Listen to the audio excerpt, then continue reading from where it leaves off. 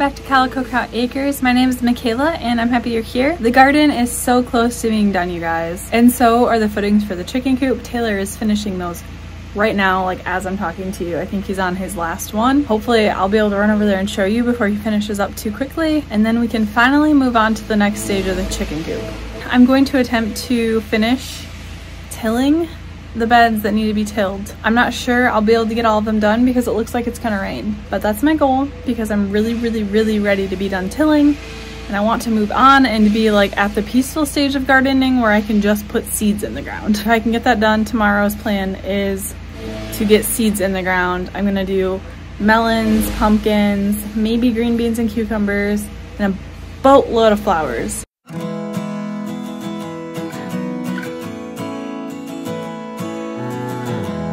What you got going here? Is that a uh, last one? You're adding lots of sweat to it. Are you excited? I'm super excited because I didn't even have to mix that last bag I brought down here. Now you have to bring it back. Thanks.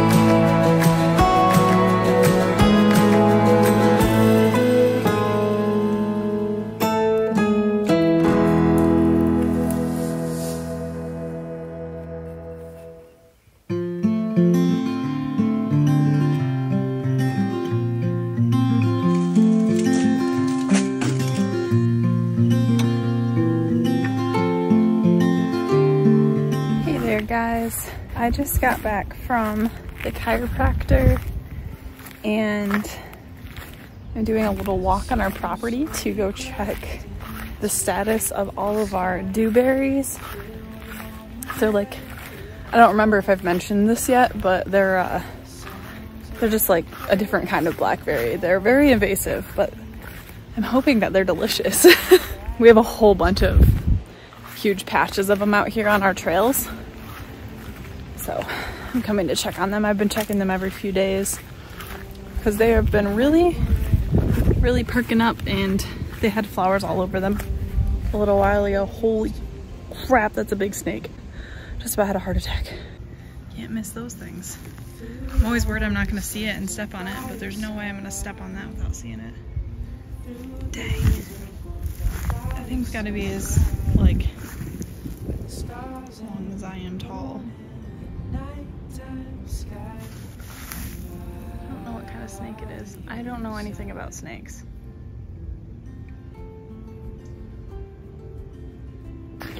Occupational hazards of filming while you walk on rural property.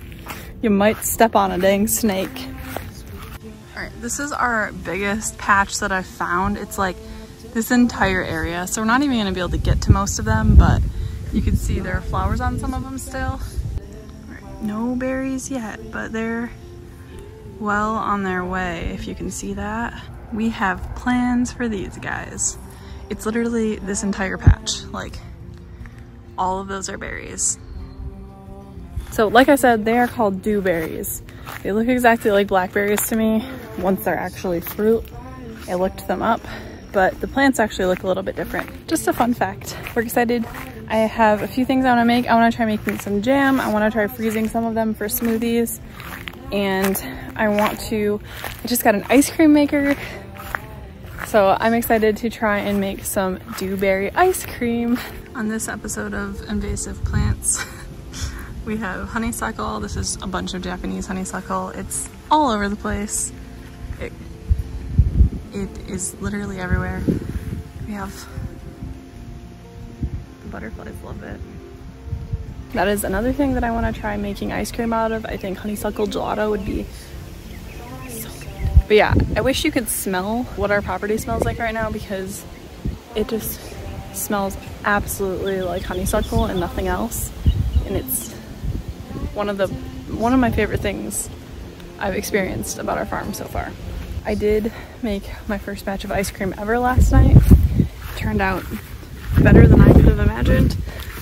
Literally the best ice cream I've ever had and it was like my first try. Um, it was Fruity Pebble ice cream. I've been missing my Fruity Pebble ice cream from our Michigan local ice cream shop, so I decided to make it.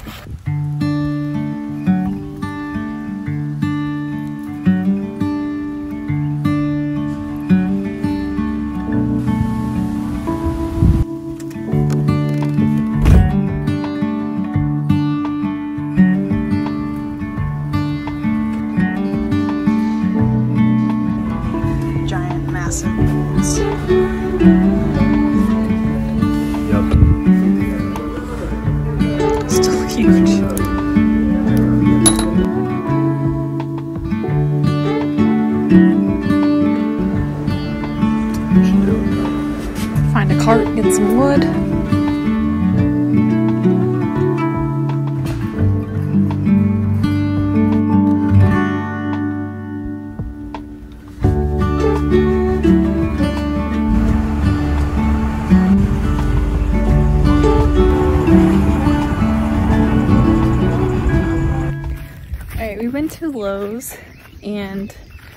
got the bolts we need.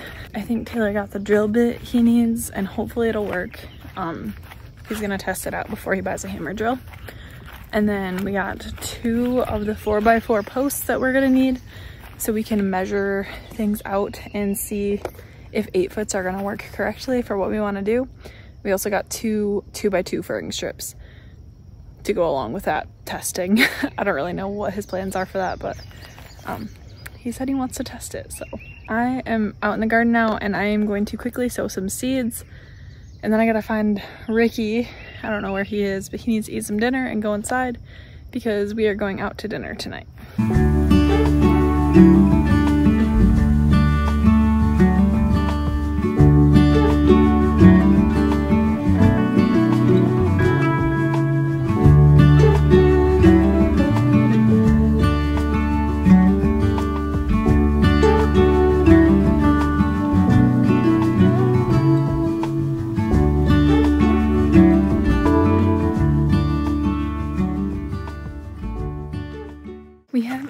Patches where the peas died off or they just didn't come up. So I think I'm gonna fill them in with cucumber seeds really quick. I might plant more squash.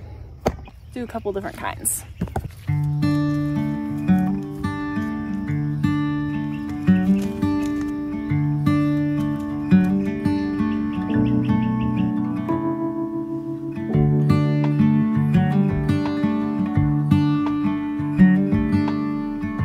I think that's probably enough. We don't really have any other bigger bare spots than that, so those should be fine as is. And I'm gonna water them in really quick and see if they grow. That's what we're doing here, seeing things grow.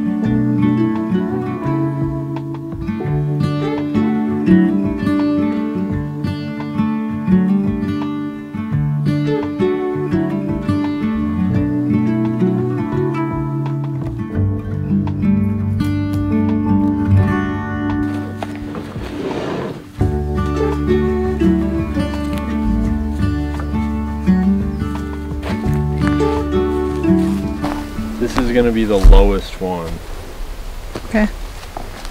but I would like you to look at it as well and see if you think that. Yeah, so now this is where I don't know exactly how. Like this is where a laser would be cool. As usual, we're going to the store. We need to get a laser level.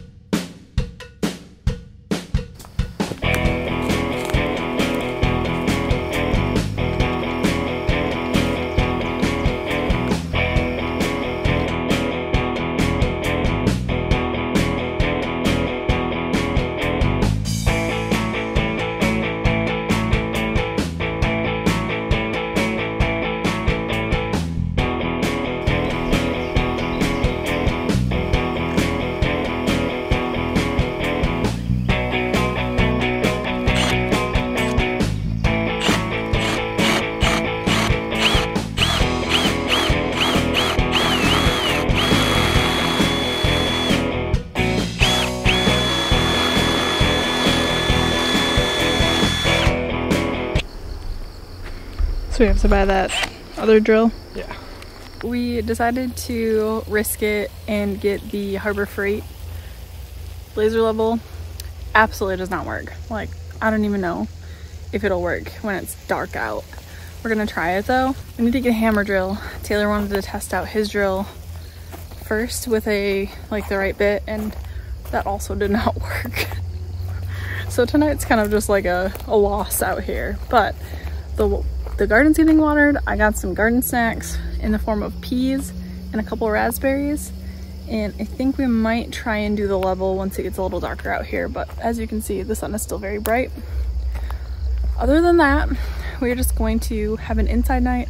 I'm working on writing an ebook. So I think I'm gonna go sit my booty on the couch and work on that and just have a chill night. We'll see if we can get that level working. And if not, I will talk to you guys tomorrow. What are you doing?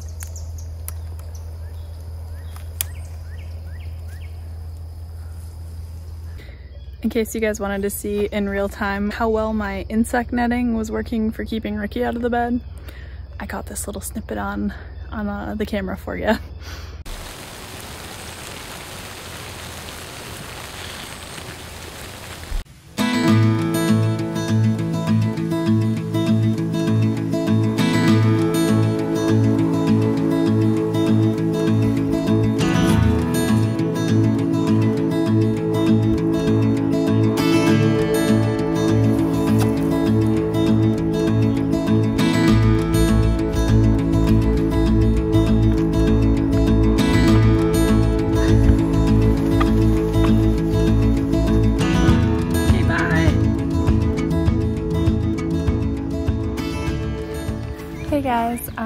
just finishing up work, heading out here. It's almost six.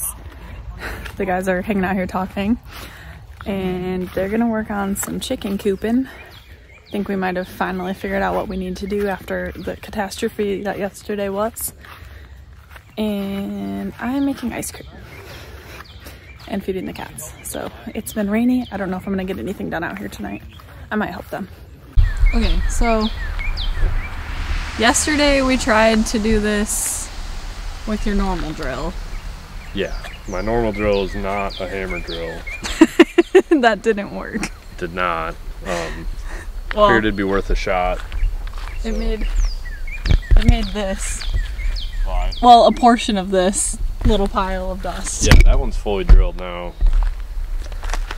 So I'm gonna draw out these two because these are the ones that I we marked yesterday.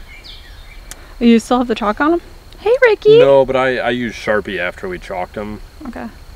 and then Are you just doing those ones? well I'm gonna do these two, and then I'm probably gonna make Hunter help me mark out the rest of them. Ricky.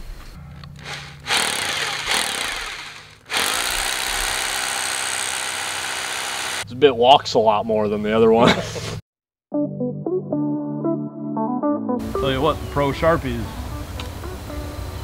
doing the trick. You know how many cords I've seen cut in half from a skill saw?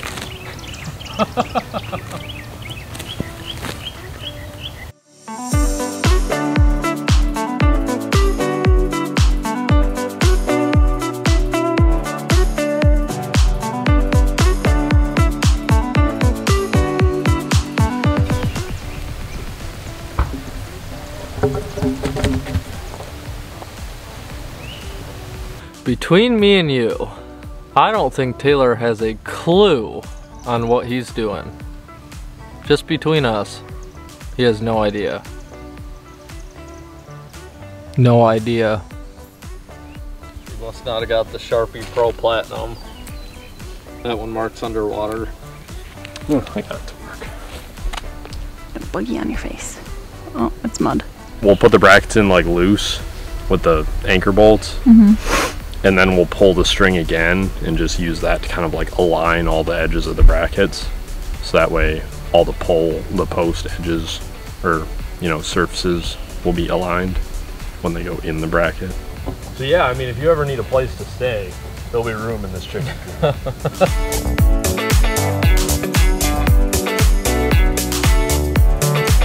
God dang, that's a big one.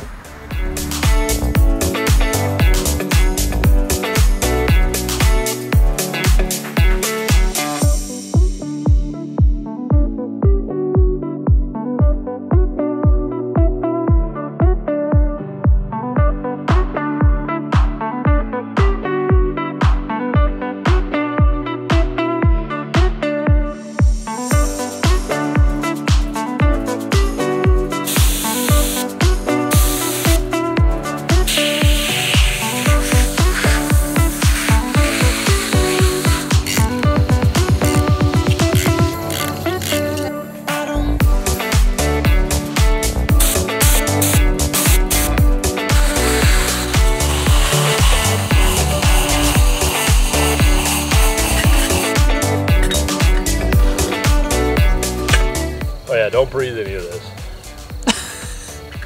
Are you talking to me or YouTube? You. Oh. He ain't talking to me, that's for sure. Hunter knows his OSHA. If you want to get the hammer drill and follow me and just re-drill all the way. Round two of the circus. I'm just laughing that he's wearing flip flops. Oh god, this one's like an inch off. You just went to the top of the dust. Probably, man. We're gonna have to redo all these. We reached the stage of we have two done.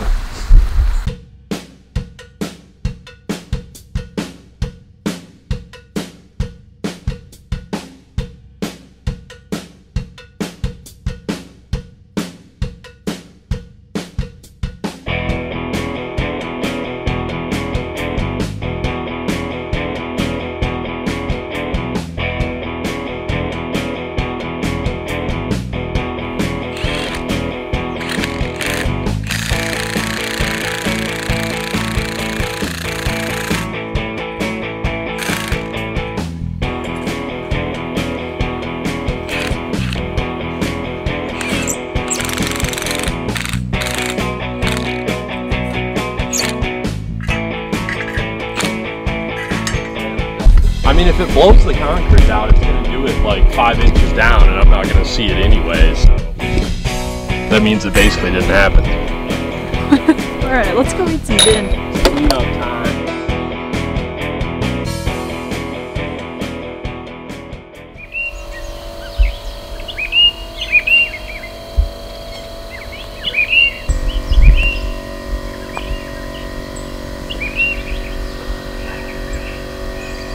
Hey guys, it's Friday night and I am just heading out to start tilling the rest of my melon patch.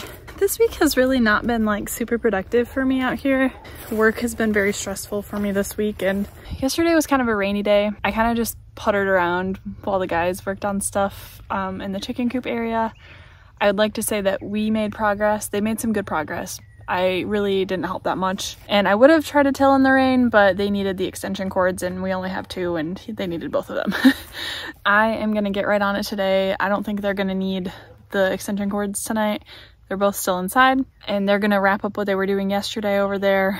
They were attaching brackets to the footings because the footings are finally all poured, yay. And I think they're gonna like line them all up, make sure they're all straight and in the right spots and sometime this weekend we should be putting up some posts which is really cool because it's going to be visual progress that you can see from not just like standing right there. Like I should be able to see it from up here in the garden. So excited. Um I'm gonna get tilling. I have a lot to till so let's get tilling. I just tilled that entire bed and I like did it in a specific way so that it would look cool on camera. And I realized after I finished that my battery must have died almost as soon as I got started, so you don't get to see any of that. And I'm a little bit, I'm a little bit sad because I was pretty excited to like look back at the footage of that. But the bed is done. I just came inside to grab another battery and to feed Mr. Ricky Doo. But I'm gonna head back out there. I'll show you the tilled bed. And I'm really sweaty. I had to put I had to put shorts on. The bugs are gonna just eat me alive, but that's how it is. I would rather be eaten a lot by bugs than be as, as sweaty as I just got from being out there in the heat with sweatpants on. So I don't know what I'm gonna do now. I think I might rake that into, how's it going down here? Uh, I mean, not bad. Mounting them or turning these how we're turning them is making it so we physically can't align them. Good stuff. So it's going to be a little bit out when you look down the straight edges of it. But That's not that big of a deal. I think like the furthest one out is probably Three inches. it's probably like three eighths. That's not bad at all. I think that's only gonna bother you. Yeah, it does. I know. The chickens probably won't mind. What are you gonna oh. do after this? Might throw a post in a couple of these and see how that goes. Yeah, we should have done the end brackets and then marked a line. All right, let's try this whole filming a video thing again. I think I'm gonna quickly rake this into either a level surface or like try to do some semi mounds because I plan on doing small mounds for the melons. See how it works out. I do have to add compost and probably some topsoil to this too. I might just have to make the mounds with that depending on how much I can actually rake this up because I didn't till it like super deep or anything so it's just the top is loose.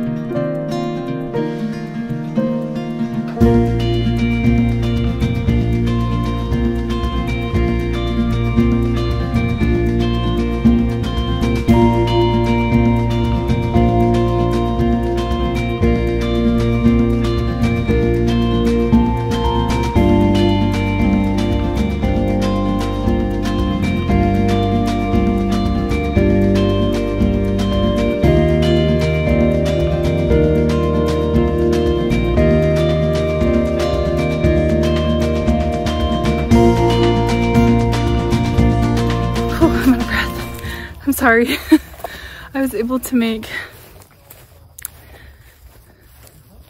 18, 18 mounds out of here. Ricky's laying on one of them. He's gonna love this bed. He'll probably tunnel through it. Um, so yeah, that's a lot of melons. I might actually put some of the squash or pumpkins in here as well because the other beds that I have are a little bit smaller than this one, quite a bit smaller than this one. They're probably each half the size of this, so we might have to uh, swap some things around a little. I'd rather have more winter squash that I can like save throughout the winter or pumpkins just for fun um, than I would melons because they they don't last very long even though I do plan on freezing as much as I can because I love them in smoothies and I feel like that would be a really cool way to preserve them. How do you preserve melons if you do? Or do you not? I don't know. I don't really have a plan for that yet. Thank you.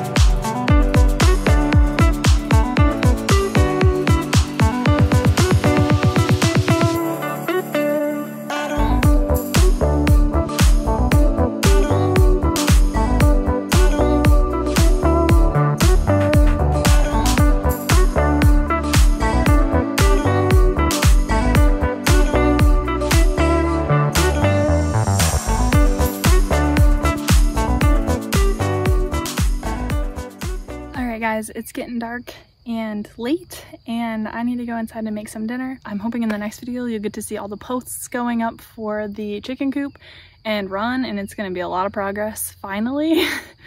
um, so I'm excited to show you that. I hope you liked the video and if you did, it would be so cool if you would like and subscribe. Thank you so much for watching and I'll see you guys on the next one. Bye.